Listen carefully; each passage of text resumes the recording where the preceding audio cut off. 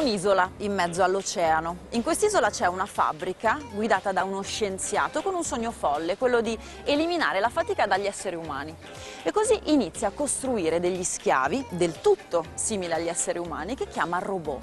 Solo che questi robot iniziano a ribellarsi e a conquistare l'intero pianeta. Ve la faccio breve, la storia va a finire bene perché i robot scoprono la forza dei sentimenti ed evitano di sterminare gli esseri umani. Il termine robot nasce così, in un racconto di fantascienza del 1920 dello scrittore ceco Karel Čapek. Nel libro usa il termine robot da robota, un vocabolo slavo che sta per schiavo o aiutante nel lavoro.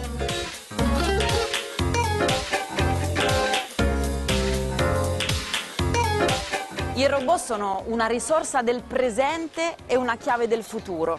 Per realizzarli fisica, bioingegneria e robotica vanno a braccetto e c'è una città in Italia dove queste e molte altre discipline sono all'avanguardia, da sempre.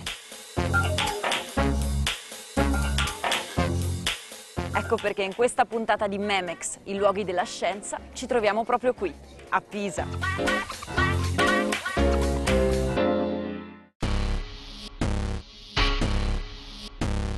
Il mio corpo, la mia mente, le mie emozioni, la mia percettibilità emotiva, la mia sensibilità fisica. Io come funziono? Come funzionano tutti i meccanismi umani e si possono studiare e tradurre in linguaggio matematico?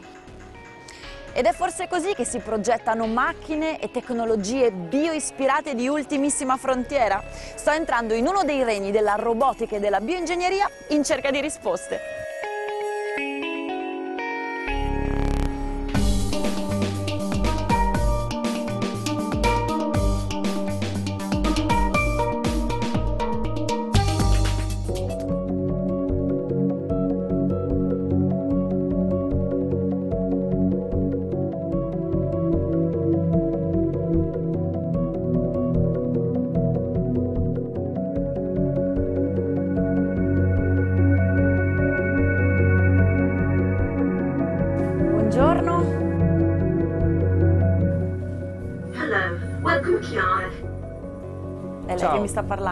Sì, sì, è lei che ti sta parlando. Vieni, te la presento. Lei è Face. Buongiorno, molto piacere.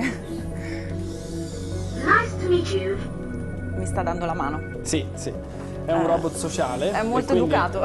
esatto, esatto, è programmato per esserlo, è un robot sociale. Il suo obiettivo è proprio quello di stabilire un rapporto empatico con le persone. Ecco, un robot completamente diverso da, dagli altri. Assolutamente sì. Normalmente sono concepiti i robot per eh, stabilire un rapporto fisico con le persone. Face invece cerca di capire lo stato emotivo delle persone, quindi interpretare le espressioni facciali e tanti altri elementi che gli permettono di avere con te un comportamento diverso da come potrebbe avere con altri interlocutori. Tipo quindi un bambino, una persona più triste? Assolutamente sì, sì, può adattare il suo comportamento al tuo stato d'animo percepito dall'esterno, quindi per esempio attraverso le tue espressioni facciali. Quindi adesso ad esempio mi sta guardando? Sì, però ti potrà sembrare strano ma ti guarda da qua perché è in costruzione. Ah al momento il suo sistema visivo è questo qua, è una camera che gli permette di vedere un'immagine in alta risoluzione ma anche di percepire la profondità.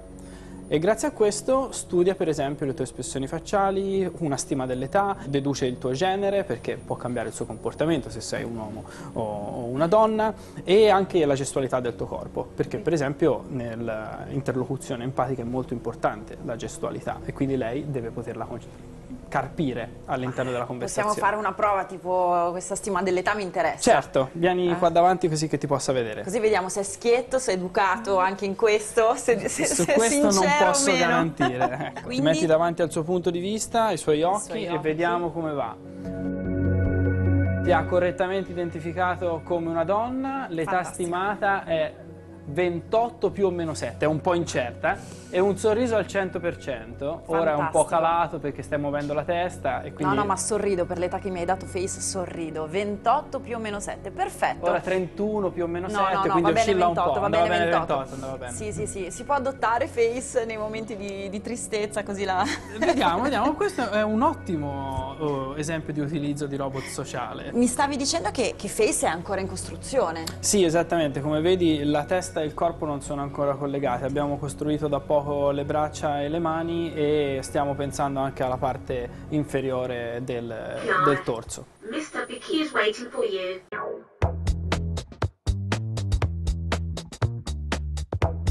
Mr. Vicky, eccomi, buongiorno. Lei mi stava aspettando per farmi conoscere questo esserino qui?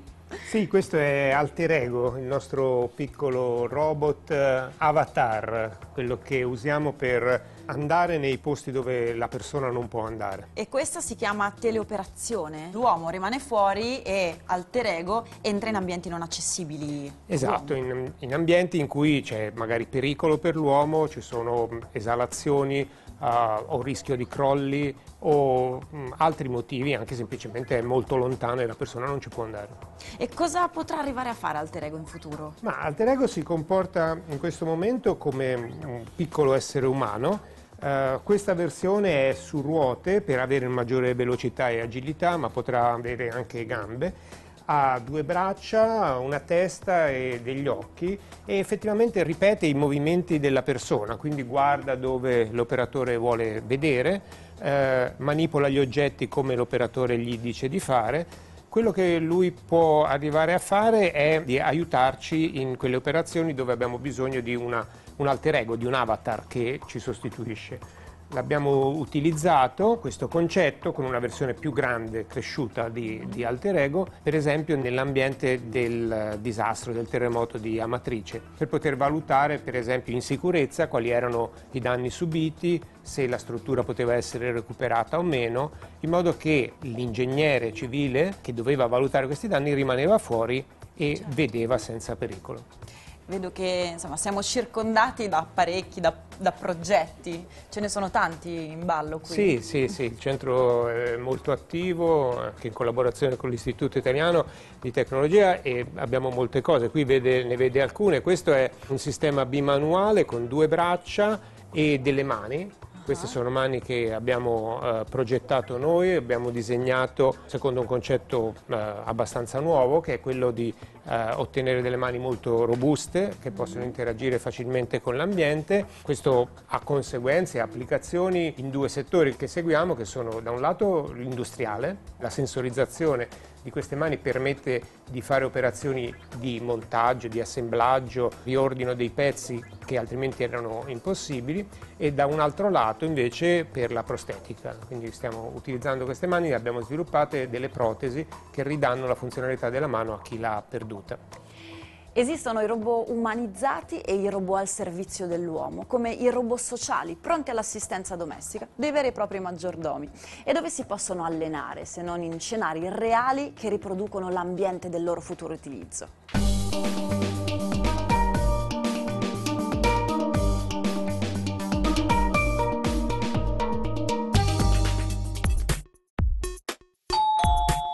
Qualcuno ha suonato alla porta.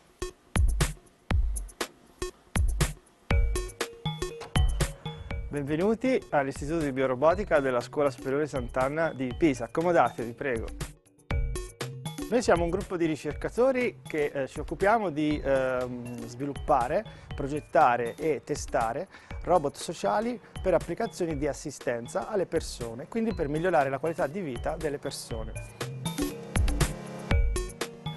Questo è Doro, è il nostro robot domestico che è il risultato di una serie di progetti eh, europei e nazionali su cui abbiamo lavorato e su cui stiamo continuando a lavorare. Questo robot ha la funzione di assistere le persone a casa ed è in grado quindi di fare tutta una serie di servizi, quali trasportare oggetti, osservare se ci sono situazioni critiche all'interno della casa, per esempio identificare se la persona è caduta o ha altre patologie o, o si sente male. È in grado questo robot di mettere in comunicazione la persona che vive a casa con un caregiver in remoto, in modo da facilitare la comunicazione e l'assistenza in teleoperazione ed è in grado di fare tutta una serie di servizi anche collegandosi con gli ambienti della casa e eh, cercando di identificare delle situazioni critiche. Dal punto di vista scientifico questo robot è sostanzialmente capace di comportarsi in maniera sociale, cioè questo robot è stato progettato in modo tale da essere socialmente accettabile da parte delle persone. Da qui la capacità del robot di comportarsi, di agire e di interagire anche con la persona in un modo più sociale possibile, cioè più accettabile possibile da parte degli utenti. A qui quindi la capacità del robot di riconoscere i gesti e le azioni delle persone, la capacità di riconoscere anche gli stati emotivi come la gioia, la felicità, la tristezza e così via e la capacità quindi di eh, riuscire ad identificare anche da un punto di vista più clinico se la persona inizia ad avere durante il corso dell'età dei declini di tipo fisico o cognitivo. Tutto ciò fatto mettendo insieme una serie di sensori distribuiti sul robot, nell'ambiente, ma anche in sensori indossati dalla persona, quindi con un approccio che oggi diremmo Internet of Things, e il tutto poi combinato con tecniche di intelligenza artificiale.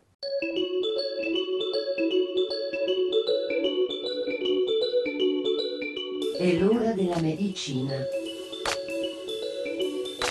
È l'ora della medicina. Ecco, questo è Coro, un altro robot assistenziale è stato progettato per lavorare principalmente in ambienti pubblici, coperto per esempio in condomini oppure in case di riposo, in ospedali, dove per esempio già a Firenze e ad Ancona abbiamo testato. È un robot dunque che è in grado di sorvegliare gli ambienti, quindi di riconoscere se ci sono situazioni critiche, è in grado di trasportare oggetti, di quindi avere funzioni di logistica e il nostro diciamo, obiettivo scientifico nuovo sostanzialmente è quello anche di poter estendere questo robot ad applicazioni di industria 4.0, il che vuol dire farlo diventare più collaborativo con le persone e con i laboratori e farlo connettere il più possibile a servizi in cui c'è un coinvolgimento di sensori e di eh, tecnologie in cloud. A proposito di assistenza in applicazioni di logistiche, una delle tipiche azioni che questo robot può fare è quello di supportare nel buttare la spazzatura. Quindi eh, sostanzialmente Coro è in grado di portare la spazzatura fuori di casa, ma lo fa in cooperazione con un altro robot che è Oro, che è il nostro robot adibito invece per ambienti esterni. Professore, l'intervista è finita.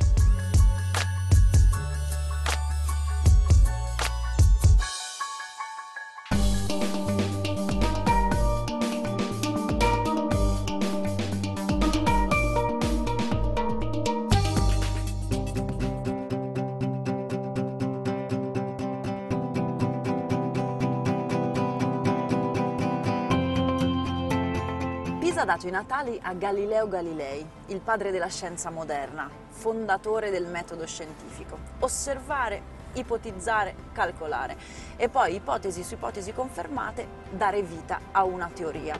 In pratica procedere per tentativi e poi arrivare alla scoperta.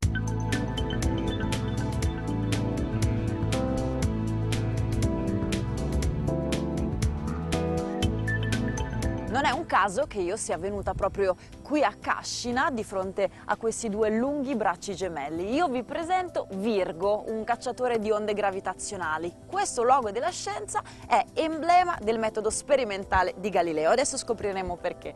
Dottor Losurdo, che cosa accade dentro questi bracci? Perché è così importante Virgo? Cosa ci rivela?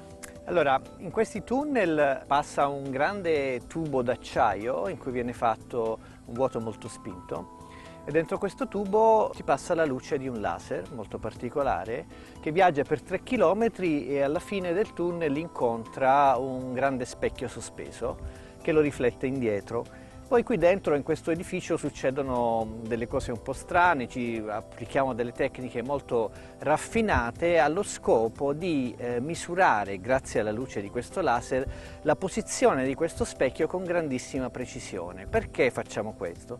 Perché vogliamo misurare l'effetto che su questi specchi hanno le onde gravitazionali che ci vengono da lassù captiamo le onde gravitazionali. Captiamo le onde gravitazionali. Che cosa sono e perché è così importante intercettarle? Le onde gravitazionali eh, sono delle piccolissime increspature dello spazio-tempo che si propagano alla velocità della luce e vengono generate in eventi catastrofici all'interno dell'universo, quindi quando masse molto grandi e molto compatte ehm, sono accelerate a grandissime velocità e questo può succedere per esempio quando esplode una supernova o quando eh, due buchi neri eh, collidono. Ma la cosa veramente importante è che eh, queste onde gravitazionali ci portano informazioni da eventi che di solito non emettono luce o non emettono radiazione elettromagnetica quindi sono l'unico uh, mezzo che abbiamo per investigare il lato oscuro dell'universo. Molto bello questo concetto, poi lo, lo, approfondiamo. Torniamo un po' indietro a quando sono state captate per la prima volta le onde gravitazionali, anzi un'onda è stata captata, il segnale di un'onda sì. è stato captato.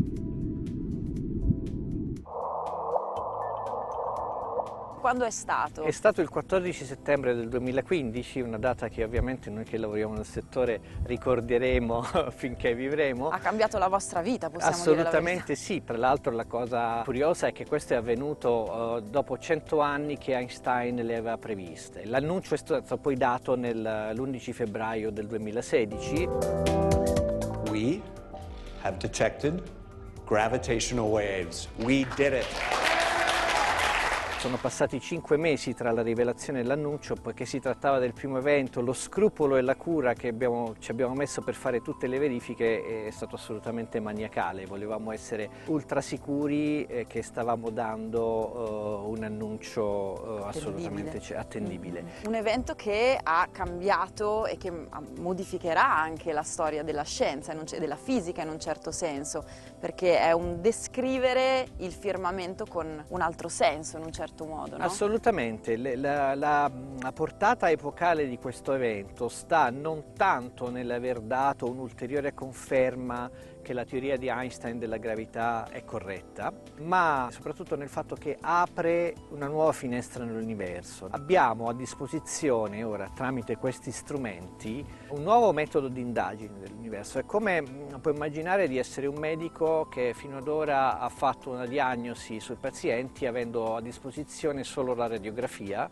e all'improvviso gli si mette a disposizione la risonanza magnetica. Eh. Quindi anche voi fisici avete messo a punto degli strumenti sofisticatissimi. Assolutamente e se vuoi scoprire altri segreti di Virgo puoi venire con me nel building sperimentale. Andiamo.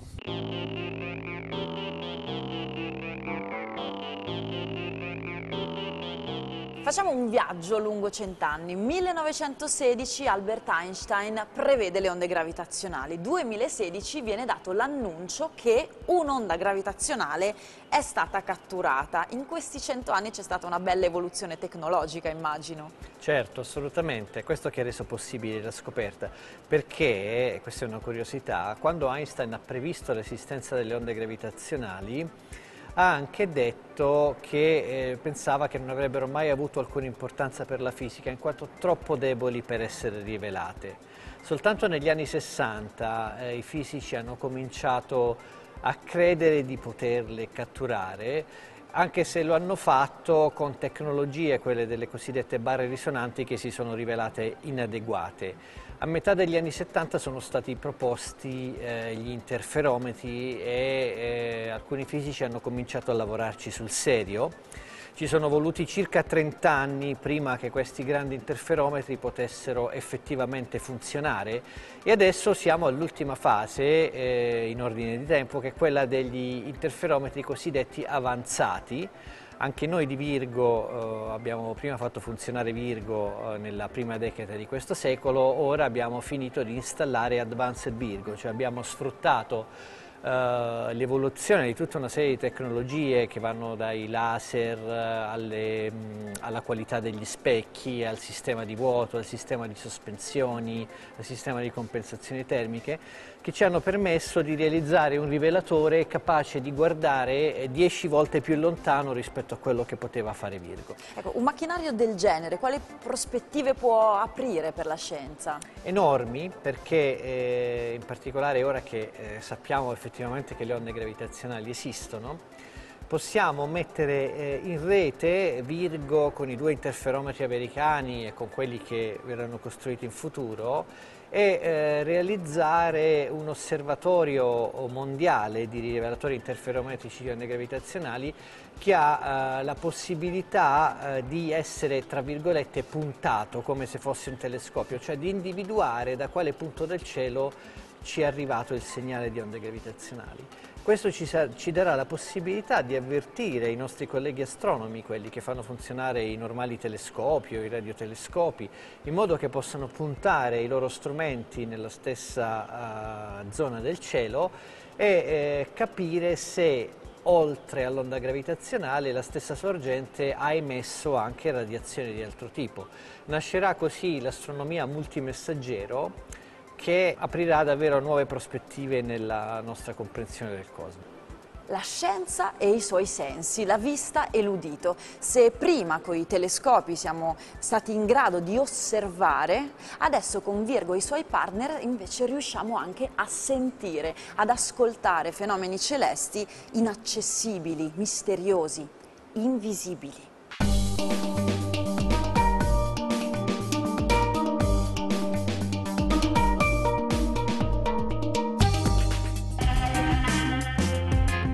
Proposito di invisibile, vi sto per portare dove tutto è incredibilmente piccolo, anzi piccolissimo, eppure visibile. È il nanomondo del laboratorio NEST, il National Enterprise for Nanoscience and Nanotechnology, un centro di ricerca e formazione della Scuola Normale Superiore di Pisa.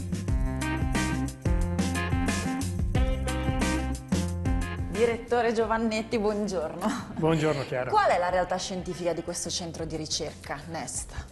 Dunque, il NEST è un laboratorio di ricerca e formazione della Scuola Normale Superiore di Pisa, a cui afferiscono vari enti di ricerca, tra cui l'IIT, Istituto Italiano di Tecnologia, il CNR e la Scuola Sant'Anna. È un centro multidisciplinare? Sì, è un centro multidisciplinare dove si studia prevalentemente fisica, ma anche biologia, chimica e ci occupiamo di andare ad analizzare quei fenomeni che avvengono a scale molto piccole, ehm, dell'ordine di 10 alla meno 9 metri, appunto in nanometri, dove avvengono cose eh, che non sono esattamente quelle a cui siamo abituati nella vita di tutti i giorni. Ti propongo di iniziare la tua visita del laboratorio. Molto volentieri. Prego.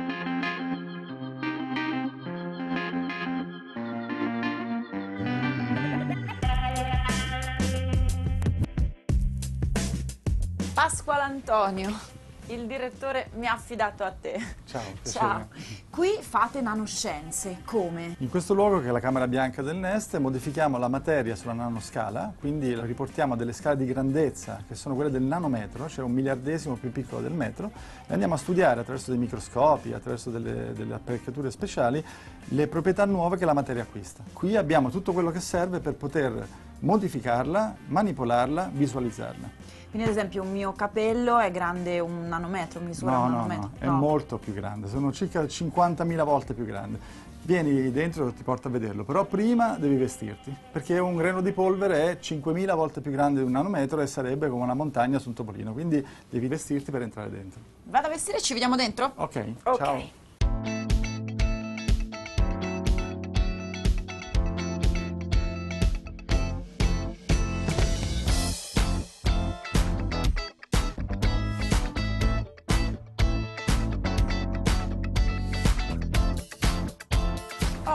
Siamo tolti la polvere di dosso. Adesso Vediamo. mi fai vedere quanto è grande un mio capello rispetto a un nanometro? Va bene, te ne posso strappare uno? Sì, fai piano.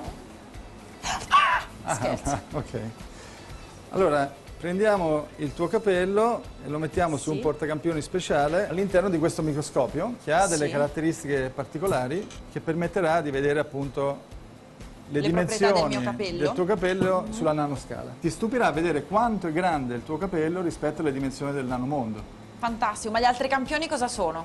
Gli altri campioni sono dei nanocapelli, che noi sì. chiamiamo nanofili semiconduttori, e ti faremo vedere come questi oggetti che crescono come un prato, che sono all'interno del, della camera del SEM, del microscopio, possono essere poi manipolati e fare delle nanofabbricazioni che prendono un solo questi, uno solo di questi nanofili e fanno dei contatti elettrici sul, sul nanofilo stesso. Fantastico, mi fai vedere? Andiamo. E quindi il mio capello dov'è adesso? L'abbiamo inserito all'interno della camera su questo portacampioni, questa è un'immagine ottica che vedi mm. E adesso faremo in modo di vederlo con un microscopio a elettroni. Quello che facciamo è che invece di usare i fotoni per guardare la, la materia, utilizziamo gli elettroni. Gli elettroni vengono emessi dal campione e noi ricostruiamo un'immagine virtuale del tuo capello che vedi qui adesso sullo schermo. Che sembra enorme. Innanzitutto ti faccio vedere che il tuo capello, come abbiamo detto, è circa 50.000 volte più grande di un nanometro. Vediamo un po' le dimensioni tipiche dei tuoi capelli. Ok, 60 micron. Ecco, okay? io me lo ricorderò, i miei capelli sono 60, larghi 60 micron. Andiamo di 60 micron, che è confrontato con i nostri nanocapelli, che, quelli che noi chiamiamo nanofili semiconduttori, vedrai a una scala totalmente diversa. In questo caso hanno una dimensione caratteristica di un diametro di 20 nanometri.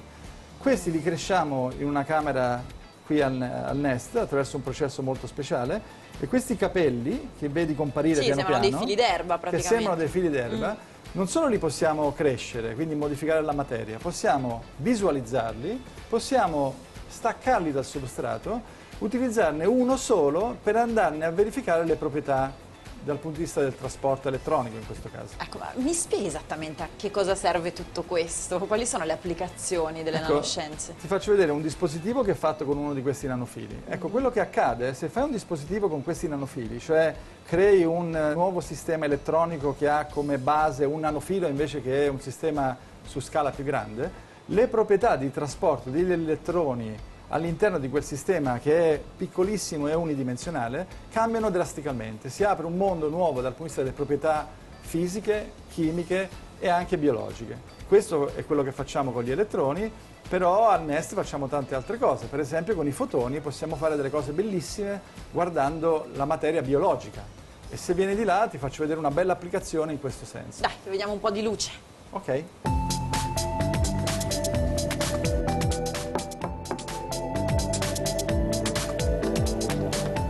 Permesso. Siamo nel laboratorio Nanoplant della Scuola Superiore Sant'Anna e Chiara Pucciarello, che è la responsabile di questo laboratorio, usa invece i fotoni per studiare processi biologici alla nanoscala e quindi applicarli a diversi settori. Su che tipo di cellule, animali o vegetali? Eh, in questo caso usa le piante e quindi Chiara ci può mostrare che tipo di piante utilizza nel suo incubatore. Ecco, quelle che vedi sono piante di vario genere, anche dei modelli, ma ci sono anche dei pomodori, della soia. Tutto questo studio sulla nanoscala dei fenomeni biologici può portare a delle applicazioni nel campo dell'agricoltura. Scienza, natura, tecnologia, tre grandi soggetti dentro questo incubatore, un legame inscindibile che Pisa può vantare in molti angoli del territorio, come in questo oasi del WWF.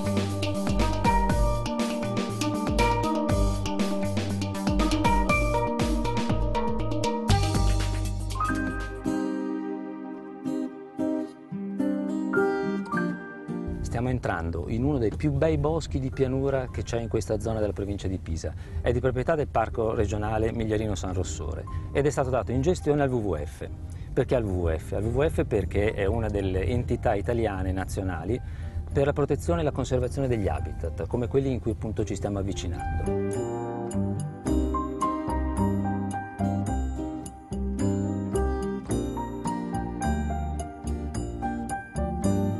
Parliamo dei progetti di ricerca che vengono svolti in quest'area, è un'area stupenda. Eh, il parco ha eh, patrocinato e finanziato alcuni progetti, specialmente sui grossi e piccoli mammiferi che stanno in quest'area e l'hanno chiamato Identifauna. La cosa è, divertente, interessante, perché sono state messe tutta una serie di fototrappole che sono state attive di giorno e di notte e sono stati trovati tutta una serie di animali. Nello specifico e in particolare c'è un'alta densità di martore, che una volta si pensava fosse molto raro, in realtà è una specie veramente, veramente frequente. E sono stati fatti monitoraggi sulla distribuzione delle specie di anfibi e di rettili del parco e nello specifico di questa zona, con particolare attenzione sulle vipere, quindi la vipera comune, che è presente sia all'interno del bosco che sui margini, e sulla testuggine palustre, la Emis orbicularis, che è una nostra specie autoctona, quindi tipica, eh, di questo bosco e delle zone centrali dell'Italia. Ma il bosco non è soltanto fauna, ci sono una serie di piante particolari di questa zona che sono veramente importanti e tra queste ce n'è una che è una, una liana. Una liana tipo quelle di Tarzan, però più piccola, fa dei fiori stupendi, ora è in fiore, proprio fiorita in questi giorni, dei fiorellini viola. È una cosa veramente particolare che si trova in questa zona, in poche altre zone del parco ed è un endemismo e una particolarità che abbiamo di quest'area.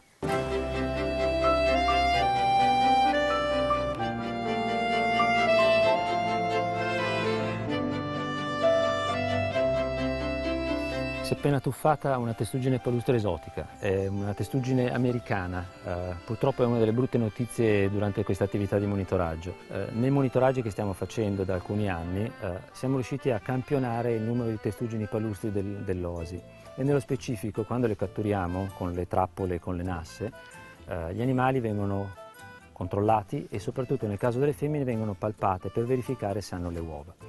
La cosa interessante è perché se hanno le uova vengono portate a veterinaria poco distante da qui e vengono ecografate e nel caso di presenza di uova calcificate vengono fatte anche delle radiografie. Calcolare il numero delle uova ci dà indicazioni sullo stato riproduttivo e controllandolo nel corso del tempo siamo riusciti a vedere che fanno da 6 a 7 uova per femmina. Si riproducono due volte l'anno, a volte anche tre e questa è una particolarità di questa specie in questa zona, assolutamente importante.